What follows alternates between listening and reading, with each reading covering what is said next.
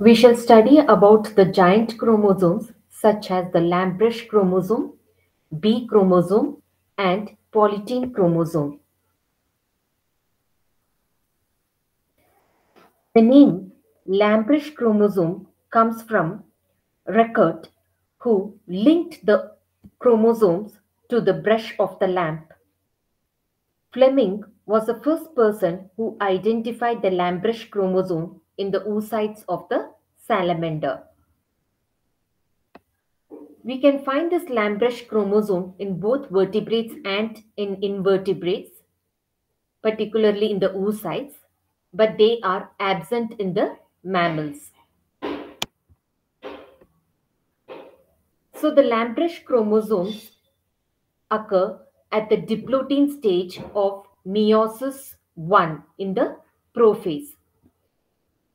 In the primary oocytes of all animal species, that is the vertebrates and invertebrates, except the mammals.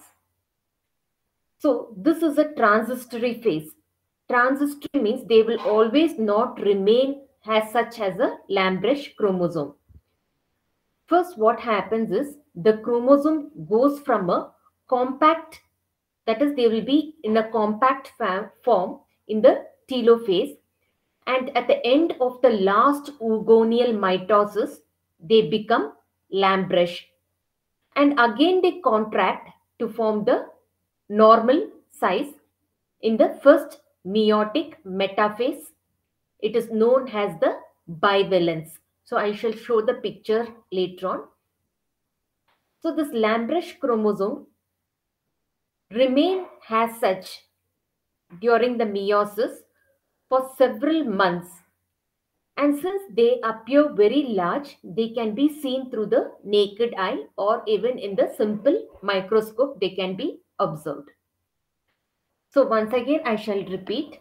The Lampbrush chromosome are giant chromosomes which are present in the vertebrates and invertebrates oocyte except in the mammals. This is a transitory chromosome. That is, this chromosome does not remain in the shape permanently. First, they actually remain in a compact form in the telophase. And that is at the till the end of the last oogonial mitosis. And then they will become Lampbrush and then they again contract again to form the normal shape in the first meiotic metaphase. So the Lampbrush, that structure will appear during the diplotene stage of the meiosis 1 in the prophase. So because of their larger size, they can be seen through the naked eye and also you can see them in the simple microscope. So these Lampbrush chromosome, they remain in this structure for several months during the meiosis. Now, this is the structure what you all are seeing. That is what we told as the bivalent chromosome. Bivalent means one they get it from the paternal side and the other one from the maternal chromosome. So this Lampbrush chromosome also is called as LBC in short. So the LBC have a lateral loop. You can see here, these are the lateral loop. This image is magnified here. So they have the lateral loops that extends from the chromomeres at the certain position. You can't see the lateral loop everywhere. Only you, you can see at some region. For example, take this loop. This is a loop. And where do you see this loop? You see that loop in the main axis. And the main axis are having a point. Okay. And those points are known as the chromomere. And from this chromomere is what you're seeing the lateral loops are.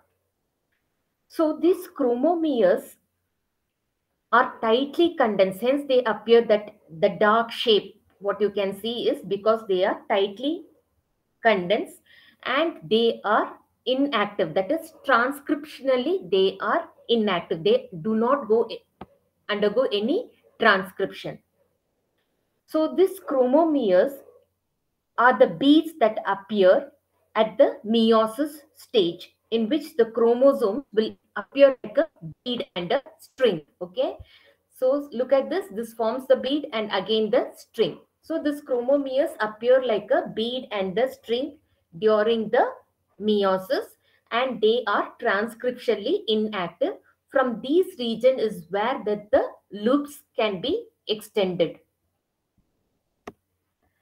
So these lateral loop pairs are displayed along the chromosome axis. So this is the chromosome axis. Okay. And these are the loops which are displayed along the chromosomal axis. And they represent an intense RNA synthesis. Which one? These loops. These loop have, they undergo a RNA synthesis. So this RNA associates with the protein form and they form a RNA matrix. If you see here in this picture, you can see this, the individual loop they have shown here. Okay. So this is the as I told you, the loop, loops are rich in RNA and they undergo what? RNA synthesis. And this region, okay, it is called as the matrix. And the matrix consists of what? The matrix consists of the RNA and the protein. So these RNA transcripts consists of what are known as heterogeneous RNA. So where is the RNA? The RNA is present on the loops. So you can see that this is the thin section and this is the thicker section of the main axis. And this is what is the chromomere is. And this is the loop. And this is called as the loop axis. The loop axis is always rich in the DNA whereas the loop itself is rich in the RNA and this is where the RNA transcription occurs. And it also consists of the matrix. You can see this shape, okay, which consists of the matrix. This matrix is rich in the RNA and the proteins.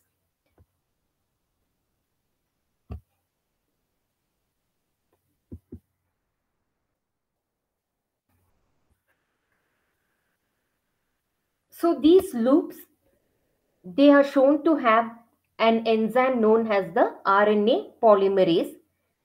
So they are attached to the principal axis. What is the principal axis? The principal axis consists of the DNA.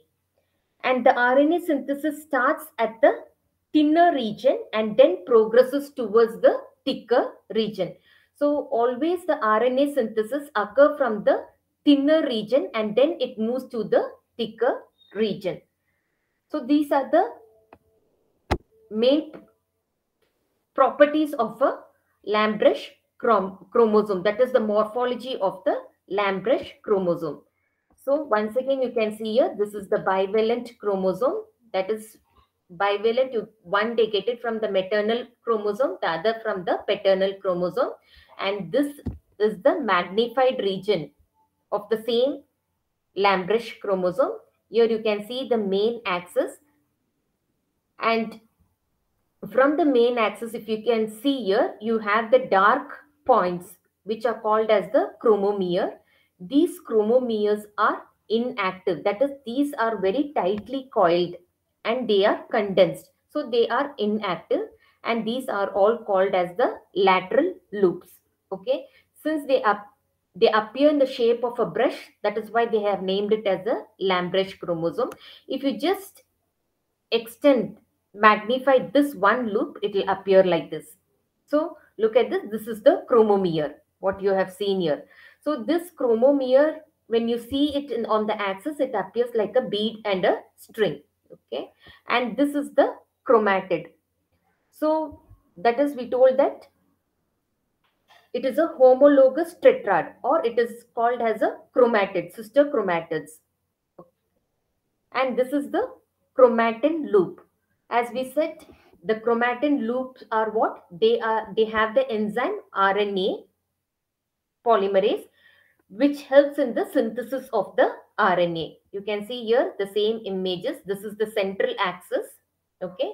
And this is the chromomere. And this is that sister chromatids. This is more magnified. And this is the loop matrix. So what does the loop matrix consist of? The loop matrices consist of your RNA plus the protein. Okay. And the loop alone, the loop axis alone, it consists of the DNA. So the loop axis here you can see, right? Those consist of the DNA, whereas the matrices consist of both RNA and the um, protein which is required for the RNA synthesis. And here what we can see is the crossing over where there is a formation of chiasma. Here you can see. So these are all loops and this is the centromere and this is where the crossing over occurs. Okay. So this Lampbrush chromosome, this structure where you can see, you can see it in the diplotene stage in the oocytes of the animals during the prophase 1 of the meiosis.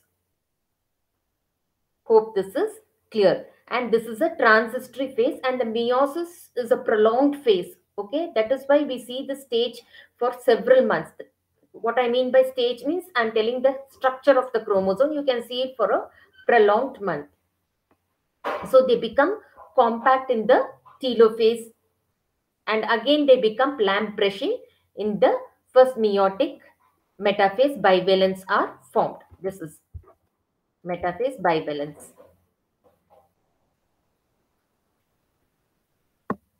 So hopefully this is clear.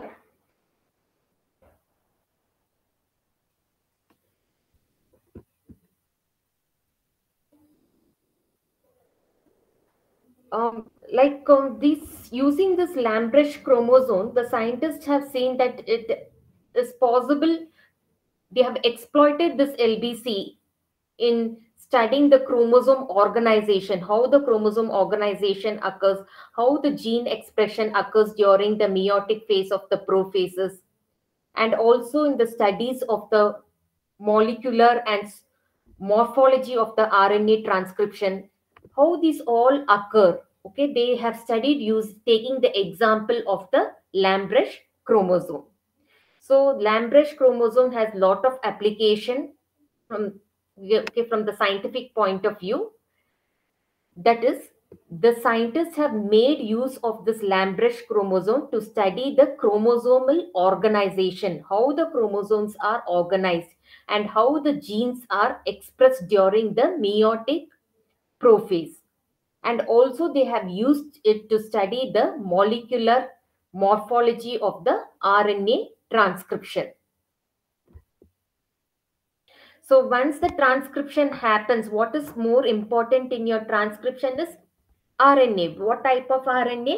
You require the messenger RNA. From the messenger RNA is what your functional proteins are being made. Okay. So that they have very well exploited in the Lampbrush chromosome. So these are the application of the Lampbrush chromosome. Next, we shall study about the polytene chromosome. So polytene chromosomes are again giant chromosome or they are also called as special chromosome. And it was discovered first by E.G. Balbiani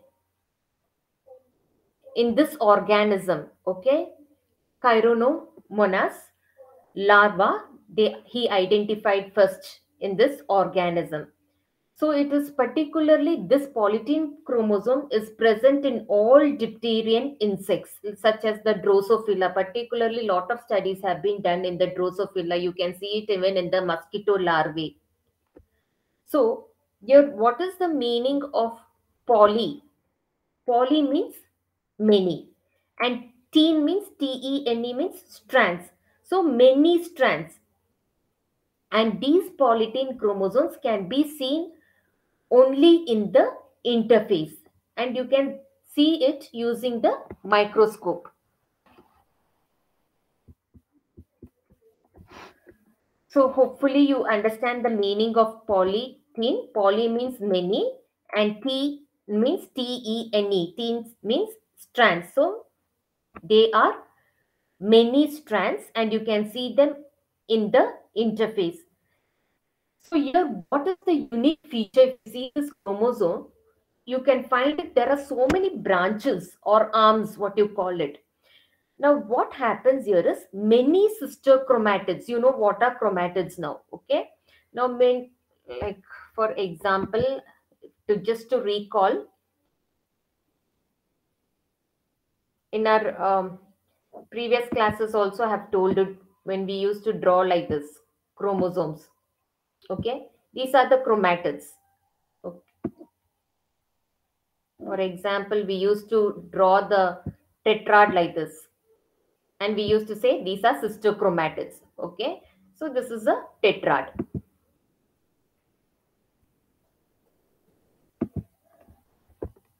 So there are many sister chromatids remain fused to form a polytene they are normal chromosome but they undergo replication without cell division. Hence, this type of replication is called as endo-replication. That is, see the chromosomes, of course, they have to replicate and they have to separate. That is, they have to undergo cell division. But in polytene chromosome, what happens is they undergo replication without any cell division. And hence, it is called as endo-replication and now when this endo replication happens that is simply they are going on replicating without separating themselves what happens? This results in the increase in the cell volume.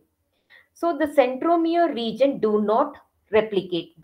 See here this is the centromere region does not replicate. Only the chromatids keep on replicating. So what happens is as a result the centromere of the chromosome becomes a mass like okay? Here you can see here it appears like a mass like and it is called as the chromocenter. And apart from this you can see that there are bands like okay? Which are dark and light bands. So they exhibit bands and inter bands and they're all joined together at the chromo center. Here you can see the better picture of it. Okay, see here, this is the bands and the interbands. That is, the bands are dark and light bands. So wherever there are dark bands, that is, they are tightly coiled. That means they are heterochromatin whenever you you see a dark band it means to tell that they are highly coiled and that is known as the heterochromatin and this region that is the heterochromatin region consists of more of dna okay? This consists more of the dna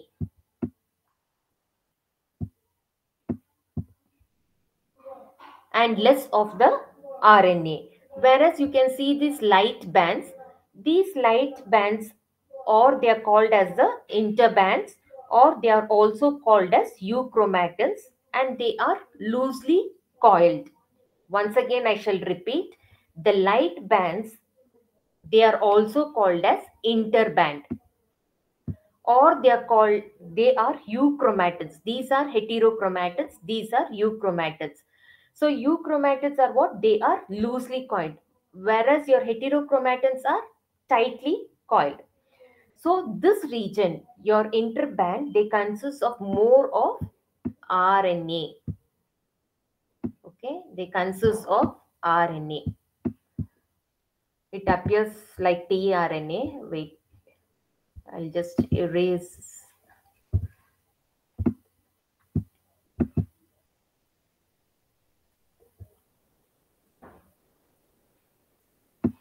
Okay.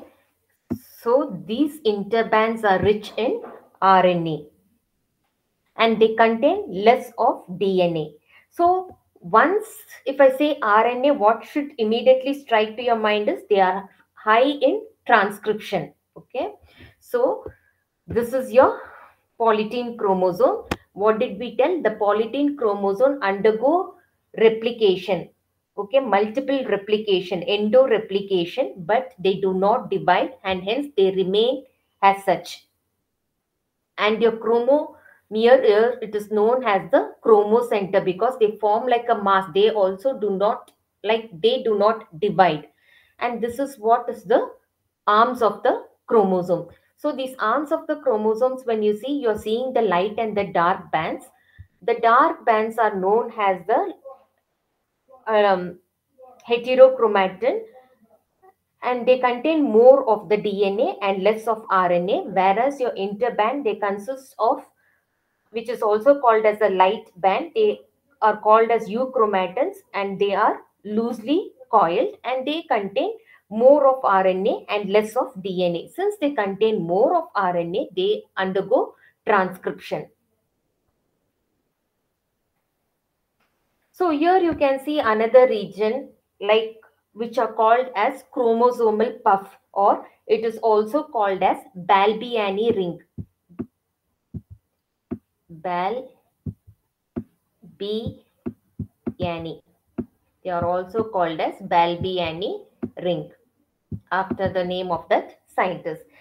So these are diffused and they are uncoiled chromosomal region called as the chromosomal puff or Balbiani ring where the transcription of the mRNA synthesis occur. So this is where your transcription of the mRNA occurs. Okay.